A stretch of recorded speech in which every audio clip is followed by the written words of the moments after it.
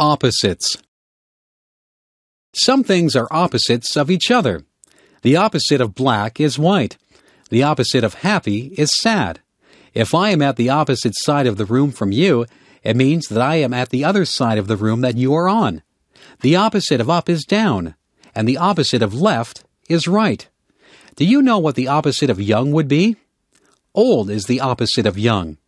What is the opposite of dirty? Clean is the opposite of dirty. Big is the opposite of small.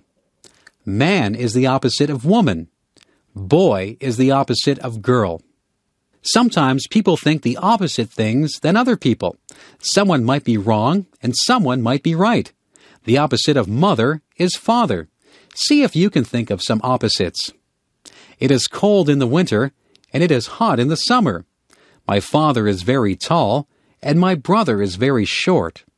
A rock is hard, but a pillow is soft. An ocean is deep, but a puddle is shallow. I might tell the truth, but I might tell a lie. All of these things are opposites. The morning is bright, but the night is dark. A feather is light, but an elephant is heavy.